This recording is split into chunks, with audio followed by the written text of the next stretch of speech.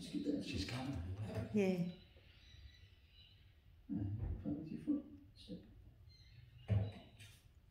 Good girl.